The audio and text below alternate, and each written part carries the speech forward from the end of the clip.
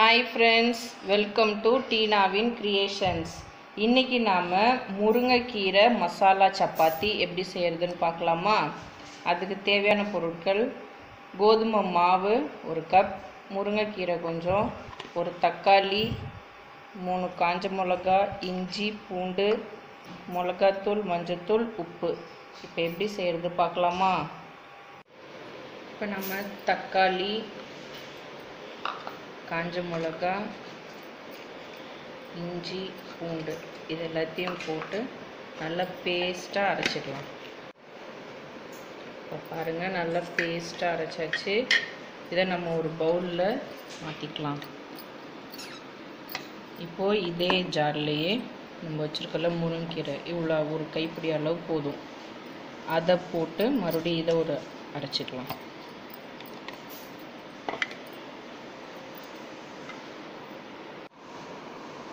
பாருங்கள் நல்லா பேஸ்ட்டாக அரைச்சாச்சு. அதையும் இதோட மிக்ஸ் பண்ணிக்கலாம்.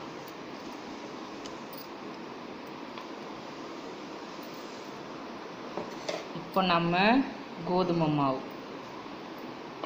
அதோட மஞ்சத்தூள் கொஞ்சம். கொஞ்சம் மிளகாய்த்தூள். நம்ம ஏற்கனவே காஞ்ச மிளகாய் போட்டதுனால கொஞ்சமாக மிளகாய்த்தூள் போட்டுக்கலாம். தேவையான அளவு உப்பு. போட்டு நம்ம சப்பாத்தி எப்படி பிசைவோம் மாவு அதே மாதிரியே பிசை போகிறோம் நம்ம நல்லா சப்பாத்தி மாவு பிசைகிற மாதிரி பிசையணும்.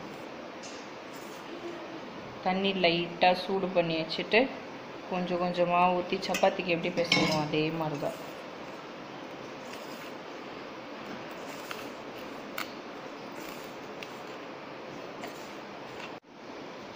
பாருங்கள் நல்லா சப்பாத்தி மாவு மாதிரி பிசைஞ்சாச்சா? இப்போ லைட்டாக இதில் ஒரு ஸ்பூன் எண்ணெய் விட்டு பிசைஞ்சிக்கலாம்.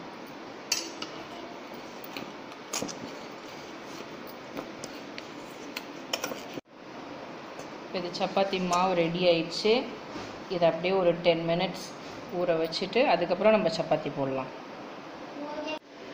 பத்து நிமிஷம் கோதுமை மாவு நல்லா ஊறினதுக்கப்புறம் இந்த மாதிரி சின்ன சின்ன உருண்டையாக உருட்டிக்கலாம். இப்போது மாவை திரட்டலாம்.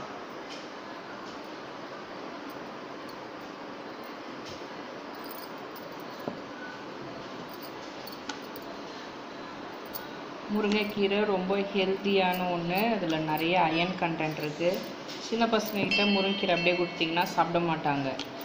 இந்த மாதிரி செஞ்சு கொடுத்தா இதில் முருங்கீரை இருக்கிறதே தெரியாது. அழகாக சப்பாத்தி மாதிரி நினச்சி சாப்பிடுவாங்க. ஸோ ரொம்ப ஹெல்த்தியான ஃபுட் இது. சின்ன பசங்கள்லேருந்து பெரியவங்க வரைக்கும் சாப்பிட்லாம். இந்த மாதிரி தட்டி எடுத்துக்கணும். ரொம்ப தடியாகவும் இல்லாமல் மெலிசாகவும் இல்லாமல் மீடியமாக செஞ்சுக்கணும். இப்போ இதை கல்லில் போட்டு எடுக்கலாமா? இப்போ கல் நல்லா சூடாக இருக்குது இதில் திரட்டின மாவை இப்படி போட்டுருங்க.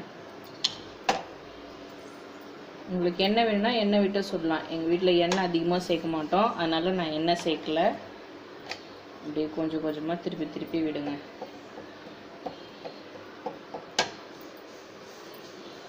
இந்த சப்பாத்திக்கு சைட் டிஷ் எதுவும் தேவையில்லை. இதுவே நல்லா மொறு மொறுன்னு டேஸ்டியாக இருக்கும். அப்படியே சாப்பிடுவாங்க பசங்க.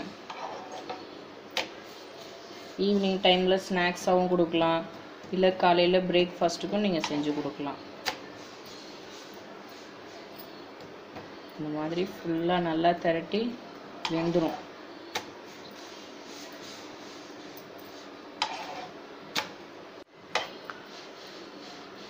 எண்ணெய் இல்லைன்னா உங்களுக்கு வேணால் ஒரு சொட்டு நெய் விட்டு கூட சாப்பிட்லாம். இன்னும் நல்லா டேஸ்ட்டாக இருக்கும். பாருங்கள் சப்பாத்தி நல்லா வெந்து போச்சு. சப்பாத்தி ரெடி இதை சர்வ் பண்ணிடலாமா?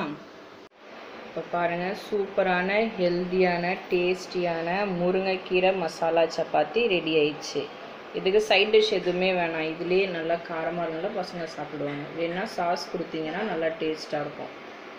தேங்க்யூ